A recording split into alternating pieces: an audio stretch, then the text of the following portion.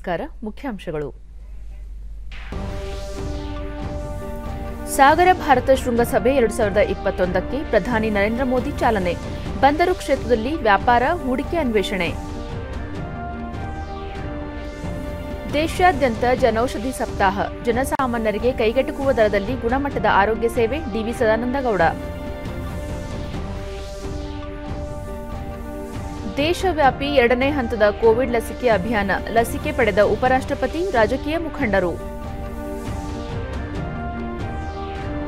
ಹಾಗೂ ಮುಂಬರುವ ಬಜೆಟ್ನಲ್ಲಿ ಮೀನುಗಾರಿಕೆ ವಲಯಕ್ಕೆ ಹೆಚ್ಚಿನ ಅನುದಾನ, ಉದ್ಯೋಗಾವಕಾಶ ಸೃಷ್ಟಿ ನಿರೀಕ್ಷೆ, ಸಚಿವ ಎಸ್. ಅಂಗಾರ.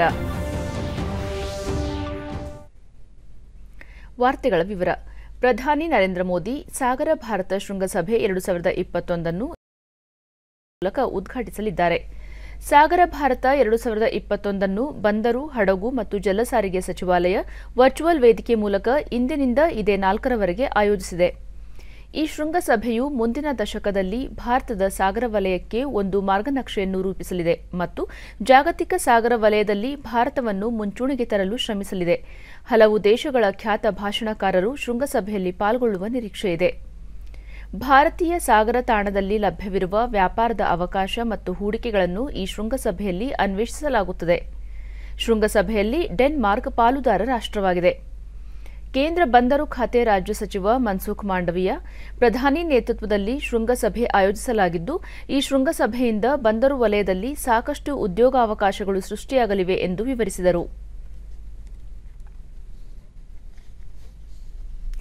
ಜನಸಾಮಾನ್ಯರಿಗೆ ಕೈಗೆಟುಕುವ ದರದಲ್ಲಿ ಗುಣಮಟ್ಟದ ಆರೋಗ್ಯ ಸೇವೆ ಲಭ್ಯವಾಗಿಸುವ ನಿಟ್ಟಿನಲ್ಲಿ ಪ್ರಧಾನಮಂತ್ರಿ ಭಾರತೀಯ ಜನೌಷಧಿ ಪರಿಯೋಜನೆಯನ್ನು ರೂಪಿಸಲಾಗಿದ್ದು, ವೈದ್ಯರು ಜನೌಷಧಿಯನ್ನೇ ಶಿಫಾರಸು ಮಾಡಿ ಔಷಧ ಚೀಟಿ ಬರೆದುಕೊಳ್ಳುವಂತೆ ಕೇಂದ್ರ ರಾಸಾಯನಿಕ ಹಾಗೂ ರಸಗೊಬ್ಬರ ಸಚಿವ ಡಿವಿ ಸದಾನಂದಗೌಡ ಕರೆ ನೀಡಿದ್ದಾರೆ. ನಿನ್ನೆಯಿಂದ ದೇಶಾದ್ಯಂತ ಆರಂಭಗೊಂಡ ಜನೌಷಧಿ ಸಪ್ತಾಹದ ಸಂದರ್ಭದಲ್ಲಿ ಪತ್ರಿಕಾ ಹೇಳಿಕೆಯೊಂದನ್ನು ನೀಡಿದ ಸಚಿವರು, ಜನೌಷಧಿಯನ್ನೇ ಶಿಫಾರಸು ಮಾಡುವುದರಿಂದ ಜನಸಾಮಾನ್ಯರಿಗೆ ದೊಡ್ಡ ಪ್ರಮಾಣದಲ್ಲಿ ಹಣ ಉಳಿತಾಯವಾಗಲಿದೆ ಎಂದರು. ದೇಶದ ಏಳ್ನೂರ ಮೂವತ್ನಾಲ್ಕು ಜಿಲ್ಲೆಗಳಲ್ಲಿ ಈಗಾಗಲೇ ಏಳು ಸಾವಿರದ ಐನೂರಕ್ಕಿಂತ ಹೆಚ್ಚು ಜನೌಷಧಿ ಕೇಂದ್ರಗಳನ್ನು ತೆರೆಯಲಾಗಿದೆ. ಜನೌಷಧಿ ಮಳಿಗೆಗಳ ಮೂಲಕ ಸದ್ಯ ಏಳ್ನೂರ ನಲವತ್ತೈದು ನಮೂನೆ ಔಷಧಗಳು ಹಾಗೂ ನೂರ ಹದಿನೇಳು ಶಸ್ತ್ರಚಿಕಿತ್ಸಾ ಉಪಕರಣಗಳನ್ನು ಮಾರಾಟ ಮಾಡಲಾಗುತ್ತಿದೆ. ಸಾಮಾನ್ಯ ಔಷಧ ಅಂಗಡಿಗಳಲ್ಲಿ ಸಿಗುವ ಔಷಧಕ್ಕೂ ಜನೌಷಧ ಕೇಂದ್ರಗಳಲ್ಲಿ ಸಿಗುವ ಔಷಧಗಳಿಗೂ ಯಾವುದೇ ವ್ಯತ್ಯಾಸವಿಲ್ಲ ಎಂದು ಹೇಳಿದರು. ಜನೌಷಧಿಯ ದರ ಶೇಕಡ ಹತ್ತರಿಂದ ತೊಂಬತ್ತರಷ್ಟು ಕಡಿಮೆಯಾಗಿದೆ. ಜನೌಷಧಿ ಸಪ್ತಾಹದ ಅಂಗವಾಗಿ ದೇಶಾದ್ಯಂತ ಒಂದು ಸಾವಿರ ಆರೋಗ್ಯ ಶಿಬಿರಗಳನ್ನು ಏರ್ಪಡಿಸಲಾಗಿದೆ. ಉಚಿತ ಆರೋಗ್ಯ ತಪಾಸಣೆ, ಉಚಿತ ಔಷಧ ವಿತರಣೆ ಸೇರಿದಂತೆ ಜನೌಷಧಿ ಬಗ್ಗೆ ಜನರಲ್ಲಿ ಅರಿವು ಮೂಡಿಸಲು ಒಂದು ವಾರ ಕಾಲ ಬೇರೆ ಬೇರೆ ಕಾರ್ಯಕ್ರಮಗಳನ್ನು ಹಮ್ಮಿಕೊಳ್ಳಲಾಗಿದೆ ಎಂದರು. ಇದೇ ಏಳರಂದು ಪ್ರಧಾನಿ ನರೇಂದ್ರ ಮೋದಿ ಅವರು ಜನೌಷಧಿ ಅಂಗಡಿ ಮಾಲೀಕರು ಹಾಗೂ ಫಲಾನುಭವಿಗಳ ಜೊತೆ ವಿಡಿಯೋ ಕಾನ್ಫರೆನ್ಸ್ ಮೂಲಕ ಸಂವಾದ ನಡೆಸಲಿದ್ದಾರೆ. ದೆಹಲಿಯಲ್ಲಿ ಅಂದು ಸಚಿವ ಸದಾನಂದ ಗೌಡರು ಜನೌಷಧಿ ವಲಯದ ಸಾಧಕರಿಗೆ ಪ್ರಶಸ್ತಿಗಳನ್ನು ವಿತರಿಸಲಿದ್ದಾರೆ. ಸಹಕಾರ ಸಚಿವ ಎಸ್ಟಿ ಸೋಮಶೇಖರ್ ಅಧ್ಯಕ್ಷತೆಯಲ್ಲಿ ಬೆಂಗಳೂರಿನಲ್ಲಿಂದು ರಾಜ್ಯದ ಎಲ್ಲ ಡಿಸಿಸಿ ಬ್ಯಾಂಕ್ಗಳ ಪ್ರಗತಿ ಪರಿಶೀಲನಾ ಸಭೆ ನಡೆಯಲಿದೆ. ಸಭೆಯಲ್ಲಿ ಎಲ್ಲ ಡಿಸಿಸಿ ಬ್ಯಾಂಕ್ಗಳ ಮುಖ್ಯ ಕಾರ್ಯನಿರ್ವಹಣಾಧಿಕಾರಿಗಳು ಮತ್ತು ಅಧ್ಯಕ್ಷರು ಪಾಲ್ಗೊಳ್ಳಲಿದ್ದಾರೆ. ಪ್ರಸಕ್ತ ಶೈಕ್ಷಣಿಕ ವರ್ಷದ ಎಸ್ಎಸ್ಎಲ್ಸಿ ಪರೀಕ್ಷೆ ಜೂನ್ ಇಪ್ಪತ್ತೊಂದರಿಂದ ಜುಲೈ ಐದರವರೆಗೆ ನಡೆಯಲಿದೆ ಎಂದು ಪ್ರಾಥಮಿಕ ಮತ್ತು ಪ್ರೌಢಶಿಕ್ಷಣ ಸಚಿವ ಎಸ್. ಸುರೇಶ್ ಕುಮಾರ್ ಬೆಂಗಳೂರಿನಲ್ಲಿ ನಿನ್ನೆ ತಿಳಿಸಿದ್ದಾರೆ. ಈ ಹಿಂದೆ ತಾತ್ಕಾಲಿಕ ವೇಳಾಪಟ್ಟಿ ಬಿಡುಗಡೆ ಮಾಡಿ ಆಕ್ಷೇಪಣೆಗೆ ಆಹ್ವಾನಿಸಲಾಗಿತ್ತು. ಇದಕ್ಕಾಗಿ ಒಂದು ತಿಂಗಳ ಸಮಯಾವಕಾಶ ನೀಡಲಾಗಿತ್ತು. ಅದರ ಅವಧಿ ಮುಗಿದಿರುವ ಹಿನ್ನೆಲೆಯಲ್ಲಿ ಅಂತಿಮ ಪರೀಕ್ಷಾ ದಿನಾಂಕ ಪ್ರಕಟಿಸಲಾಗಿದೆ ಎಂದರು. ಪ್ರತಿ ವಿಷಯಕ್ಕೂ ಒಂದು ದಿನ ಬಿಡುವಿರುವಂತೆ ನೋಡಿಕೊಂಡು ವೇಳಾಪಟ್ಟಿಯನ್ನು ಸಿದ್ಧಪಡಿಸಲಾಗಿದೆ ಎಂದರು.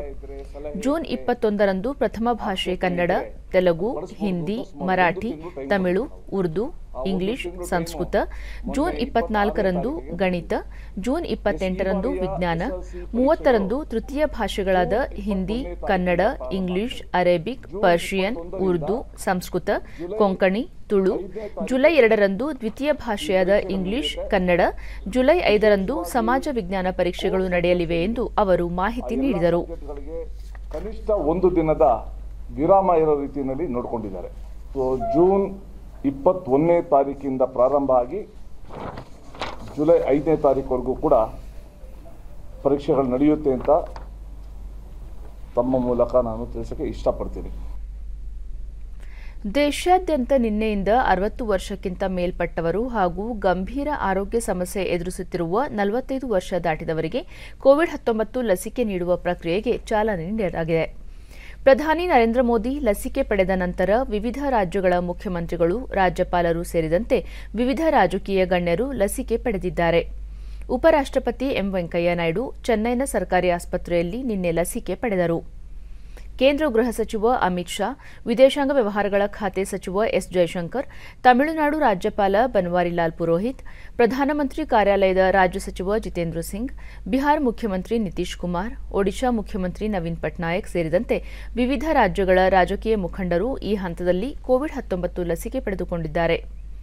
ದೇಶಾದ್ಯಂತ ಹತ್ತು ಸಾವಿರ ಸರ್ಕಾರಿ ಆಸ್ಪತ್ರೆಗಳಲ್ಲಿ ಉಚಿತವಾಗಿ ಲಸಿಕೆ ಹಾಕಲು ಸಕಲ ಸಿದ್ಧತೆಗಳನ್ನು ಮಾಡಿಕೊಳ್ಳಲಾಗಿದ್ದು, ಅದೇ ರೀತಿ ಇಪ್ಪತ್ತು ಸಾವಿರ ಖಾಸಗಿ ಆಸ್ಪತ್ರೆಗಳಲ್ಲೂ ಲಸಿಕೆ ನೀಡಲಾಗುತ್ತಿದೆ. ನಿನ್ನೆ ಒಂದೇ ದಿನ ನಾಲ್ಕು ಪಾಯಿಂಟ್ ಎರಡು ಏಳು ಲಕ್ಷಕ್ಕೂ ಅಧಿಕ ಮಂದಿ ಲಸಿಕೆ ಹಾಕಿಸಿಕೊಂಡಿದ್ದಾರೆ. ಇದರೊಂದಿಗೆ ಕೋವಿಡ್ ಹತ್ತೊಂಬತ್ತು ಲಸಿಕೆ ಪಡೆದವರ ಸಂಖ್ಯೆ ಅಂದಾಜು ಒಂದು ಕೋಟಿ ನಲವತ್ತೇಳು ಲಕ್ಷಕ್ಕೆ ಏರಿಕೆಯಾಗಿದೆ ಎಂದು ಕೇಂದ್ರ ಆರೋಗ್ಯ ಸಚಿವಾಲಯ ತಿಳಿಸಿದೆ. ರಾಜ್ಯದಲ್ಲಿ ನಿನ್ನೆ ಹೊಸದಾಗಿ ಮುನ್ನೂರ ನಲವತ್ತೊಂಬತ್ತು ಕೋವಿಡ್ ಪ್ರಕರಣಗಳು ದೃಢಪಟ್ಟಿದ್ದು, ಇದರೊಂದಿಗೆ ಒಟ್ಟು ಸೋಂಕು ಪ್ರಕರಣಗಳ ಸಂಖ್ಯೆ ಒಂಬತ್ತು ಲಕ್ಷ ಐವತ್ತೊಂದು ಸಾವಿರದ ಆರುನೂರಕ್ಕೆ ಏರಿಕೆಯಾಗಿದೆ. ನಿನ್ನೆ ಮುನ್ನೂರ ಇಪ್ಪತ್ನಾಲ್ಕು ಮಂದಿ ಆಸ್ಪತ್ರೆಯಿಂದ ಬಿಡುಗಡೆಯಾಗಿದ್ದು, ಇದುವರೆಗೂ ಗುಣಮುಖರಾದವರ ಒಟ್ಟು ಸಂಖ್ಯೆ ಒಂಬತ್ತು ಲಕ್ಷ ಮೂವತ್ಮೂರು ಸಾವಿರದ ನಾನ್ನೂರ ಇಪ್ಪತ್ತೊಂದಕ್ಕೆ ತಲುಪಿದೆ. ನಿನ್ನೆ ಐದು ಮಂದಿ ಸಾವನ್ನಪ್ಪಿದ್ದು, ಮೃತಪಟ್ಟವರ ಸಂಖ್ಯೆ ಹನ್ನೆರಡು ಸಾವಿರದ ಮುನ್ನೂರ ಮೂವತ್ತಾರಕ್ಕೆ ಏರಿಕೆಯಾಗಿದೆ. ಸದ್ಯ ರಾಜ್ಯದಲ್ಲಿ ಐದು ಸಾವಿರದ ಎಂಟುನೂರ ಇಪ್ಪತ್ನಾಲ್ಕು ಸಕ್ರಿಯ ಪ್ರಕರಣಗಳಿವೆ. ನೂರ ಹದಿನೆಂಟು ಮಂದಿ ರಾಜ್ಯದ ವಿವಿಧ ಆಸ್ಪತ್ರೆಗಳಲ್ಲಿ ತೀವ್ರ ನಿಗಾ ಘಟಕದಲ್ಲಿ ಚಿಕಿತ್ಸೆ ಪಡೆಯುತ್ತಿದ್ದಾರೆ. ನಿನ್ನೆ ಅರವತ್ತು ಸಾವಿರದ ನೂರ ಇಪ್ಪತ್ತೇಳು ಮಾದರಿಗಳ ಪರೀಕ್ಷೆ ನಡೆಸಿದ್ದು, ಇದುವರೆಗೂ ಒಂದು ಕೋಟಿ ಎಂಬತ್ತೆಂಟು ಲಕ್ಷ ಐವತ್ತಾರು ಸಾವಿರದ ಒಂಬೈನೂರ ಎರಡು ಮಂದಿಗೆ ಕೊರೋನಾ ಪರೀಕ್ಷೆ ನಡೆಸಲಾಗಿದೆ ಎಂದು ಆರೋಗ್ಯ ಮತ್ತು ಕುಟುಂಬ ಕಲ್ಯಾಣ ಇಲಾಖೆ ತಿಳಿಸಿದೆ. ಬೆಂಗಳೂರಿನಲ್ಲಿ ನಿನ್ನೆ ಇನ್ನೂರ ಹತ್ತು ಮಂದಿಗೆ ಸೋಂಕು ತಗುಲಿದ್ದು, ಒಟ್ಟು ಸೋಂಕು ಪ್ರಕರಣಗಳ ಸಂಖ್ಯೆ ನಾಲ್ಕು ಲಕ್ಷ ಐದು ಸಾವಿರದ ಎಂಟುನೂರ ನಲವತ್ತೇಳಕ್ಕೆ ಏರಿಕೆಯಾಗಿದೆ. ನಿನ್ನೆ ನೂರ ಹತ್ತು ಮಂದಿ ಆಸ್ಪತ್ರೆಯಿಂದ ಬಿಡುಗಡೆಯಾಗಿದ್ದು, ಇದುವರೆಗೂ ಗುಣಮುಖರಾದವರ ಸಂಖ್ಯೆ ಮೂರು ಲಕ್ಷ ತೊಂಬತ್ತೇಳು ಸಾವಿರದ ಇನ್ನೂರ ಎಪ್ಪತ್ತೊಂದಕ್ಕೆ ಏರಿಕೆಯಾಗಿದೆ. ಸದ್ಯ ನಾಲ್ಕು ಸಾವಿರದ ತೊಂಬತ್ತೆರಡು ಸಕ್ರಿಯ ಪ್ರಕರಣಗಳಿವೆ. ಬೆಂಗಳೂರಿನಲ್ಲಿ ನಾಲ್ಕು ಮಂದಿ ಸಾವನ್ನಪ್ಪಿದ್ದು, ಇದುವರೆಗೂ ಒಟ್ಟು ನಾಲ್ಕು ಸಾವಿರದ ನಾನ್ನೂರ ಎಂಬತ್ಮೂರು ಮಂದಿ ಸಾವನ್ನಪ್ಪಿದ್ದಾರೆ. ಬಾಗಲಕೋಟೆ, ಬೀದರ್, ಚಾಮರಾಜನಗರ, ಹಾವೇರಿ, ಕೋಲಾರ, ಕೊಪ್ಪಳ, ರಾಯಚೂರು, ರಾಮನಗರ ಜಿಲ್ಲೆಗಳಲ್ಲಿ ಇಂದು ಯಾವುದೇ ಪ್ರಕರಣ ದಾಖಲಾಗಿಲ್ಲ. ಉಳಿದ ಜಿಲ್ಲೆಗಳ ವಿವರ ಹೀಗಿದೆ.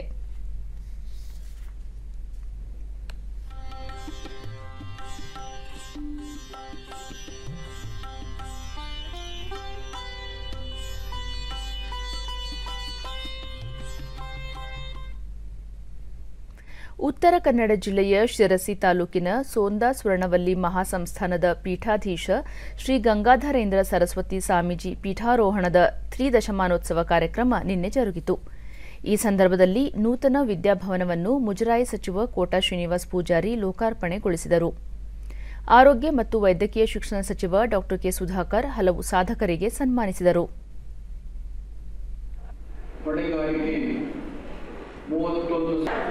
ಈ ವೇಳೆ ಕಾರ್ಮಿಕ ಸಚಿವ ಶಿವರಾಂ ಹೆಬ್ಬಾರ್ ಮಾಜಿ ಸಚಿವ ಆರ್ವಿ ದೇಶಪಾಂಡೆ ಸೇರಿದಂತೆ ಹಲವರು ಉಪಸ್ಥಿತರಿದ್ದರು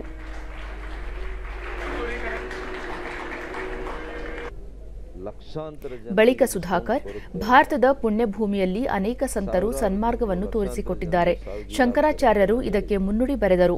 ಅವರು ಸ್ಥಾಪಿಸಿದ ಪೀಠಗಳಲ್ಲಿ ಸ್ವರ್ಣವಲ್ಲಿ ಸಹ ಒಂದಾಗಿದೆ ಎಂದರು.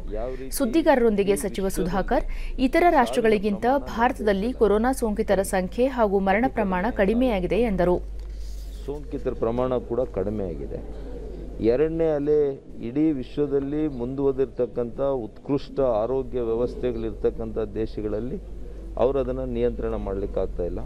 ಆದರೆ ನಮ್ಮ ಭಾರತದಲ್ಲಿ ಆಗ್ತಾ ಇದೆ ಅನ್ನೋದಾದರೆ ಒಂದು ನಮ್ಮ ಕ್ರಮಗಳು ಕೂಡ ಭಾಳ ಬಲವಾಗಿದೆ. ಇದರ ಜೊತೆ ಜೊತೆಗೆ ಕೂಡ ಆಧ್ಯಾತ್ಮಿಕ ಕ್ಷೇತ್ರದಲ್ಲಿ ಸಾಧು ಸಂತರು, ಪುಣ್ಯಜೀವಿಗಳು ಈ ಪುಣ್ಯಭೂಮಿಯಲ್ಲಿ ಅವ್ರು ಮಾಡಿರ್ತಕ್ಕಂಥ ಸಾಧನೆಗಳು, ಆಶೀರ್ವಾದ, ಹೋಮ, ಹವನಗಳು, ಇವೆಲ್ಲವೂ ಕೂಡ ನಮಗೆ ಆಶೀರ್ವಾದ ಇದೆ ಅಂತ ನಾವು ನಂಬಲೇಬೇಕಾಗ್ತದೆ. ವೈಜ್ಞಾನಿಕತೆ ಜೊತೆ ಜೊತೆಗೆ ಆಧ್ಯಾತ್ಮಿಕತೆ. ಅದೇ ರೀತಿಯೇ ನಮ್ಮ ದೇಶ ಯಾವತ್ತೂ ಕೂಡ ಮುಂದುವರೆದಿರ್ತಕ್ಕಂಥದ್ದು. ಕನ್ನಡ ಮತ್ತು ಸಂಸ್ಕೃತಿ ಇಲಾಖೆ ಹಾಗೂ ತಾಲೂಕು ಆಡಳಿತ ಹಾಗೂ ನಗರಸಭೆ ಸಹಯೋಗದಲ್ಲಿ ಬೆಳಗಾವಿ ಜಿಲ್ಲೆಯ ನಿಪ್ಪಾಣಿ ತಾಲೂಕಿನಲ್ಲಿ ಹಮ್ಮಿಕೊಳ್ಳಲಾಗಿದ್ದ ಮಹಿಳಾ ಸಾಂಸ್ಕೃತಿಕ ಉತ್ಸವಕ್ಕೆ ಮಹಿಳಾ ಮತ್ತು ಮಕ್ಕಳ ಕಲ್ಯಾಣ ಸಚಿವೆ ಶಶಿಕಲಾ ಜೊಲ್ಲೆ ನಿನ್ನೆ ಚಾಲನೆ ನೀಡಿದರು. ಬಳಿಕ ಸಚಿವರು ಅಡುಗೆ ಸ್ಪರ್ಧೆಯಲ್ಲಿ ಮಹಿಳೆಯರು ಮಾಡಿರುವ ತಿಂಡಿ ಸವಿದು ರಂಗೋಲಿ ಸ್ಪರ್ಧೆ ವೀಕ್ಷಣೆ ಮಾಡಿದರು. ಈ ವೇಳೆ ಕನ್ನಡ ಮತ್ತು ಸಂಸ್ಕೃತಿ ಇಲಾಖೆ ಸಹಾಯಕ ನಿರ್ದೇಶಕರಾದ ವಿದ್ಯಾವತಿ, ಎಚ್ಬಿ ತಾಲೂಕಿನ ಸಿಡಿಪಿಒ ಸುಮಿತ್ರಾ ಸೇರಿದಂತೆ ಹಲವು ಅಧಿಕಾರಿಗಳು ಉಪಸ್ಥಿತರಿದ್ದರು. ಬಳಿಕ ಶಶಿಕಲಾ ಜೊಲ್ಲೆ, ಮಹಿಳೆಯರು ಸ್ವಂತ ಉದ್ಯೋಗ ಮಾಡುವ ಹಂಬಲವಿರುವವರಿಗೆ ತಮ್ಮ ಇಲಾಖೆ ವತಿಯಿಂದ ಮೂರು ಲಕ್ಷ ರೂಪಾಯಿ ಸಾಲ ನೀಡಲಾಗುತ್ತದೆ. ಇದನ್ನು ಸದುಪಯೋಗಪಡಿಸಿಕೊಂಡು ಮಹಿಳೆಯರು ತಮ್ಮ ಕುಟುಂಬವನ್ನು ಮುಂದೆ ತರಬೇಕು ಎಂದು ತಿಳಿಸಿದರು.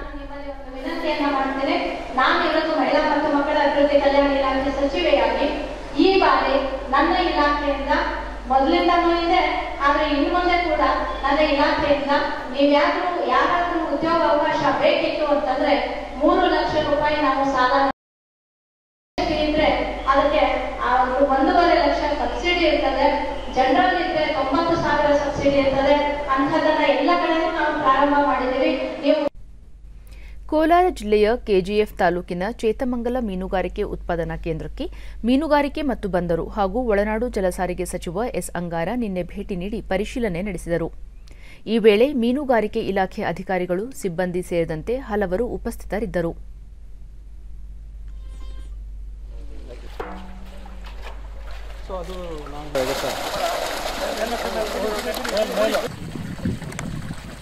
ಬಳಿಕ ಸಚಿವರು ಬಂಗಾರಪೇಟೆ ತಾಲೂಕಿನ ಮಾರ್ಕಂಡೇಯ ಮೀನುಗಾರಿಕೆ ಉತ್ಪಾದನಾ ಕೇಂದ್ರಕ್ಕೆ ಆಗಮಿಸಿ ಸ್ವಚ್ಛತೆ ಮತ್ತು ನೈರ್ಮಲ್ಯಕ್ಕೆ ಹೆಚ್ಚಿನ ಕಾಳಜಿ ವಹಿಸುವಂತೆ ಅಧಿಕಾರಿಗಳಿಗೆ ಸೂಚಿಸಿದರು.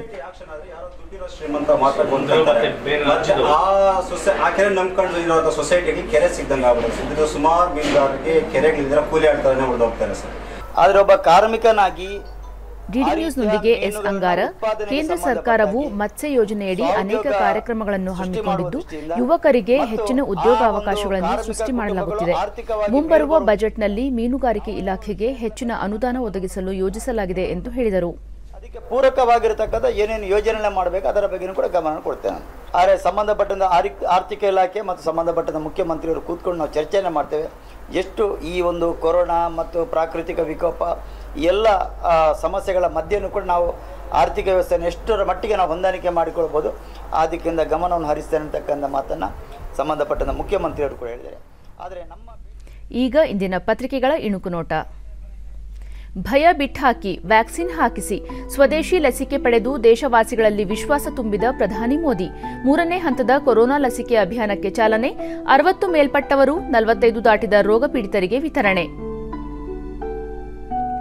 ರಾಜ್ಯ ಲಾಕ್ ಮಾಡುವ ಪರಿಸ್ಥಿತಿ ಇಲ್ಲ. ಇನ್ನೂರ ಎಪ್ಪತ್ತಕ್ಕೂ ಹೆಚ್ಚು ಲಸಿಕೆ ಕೇಂದ್ರಗಳಲ್ಲಿ ಕಾರ್ಯನಿರ್ವಹಣೆ, ಸುಧಾಕರ್.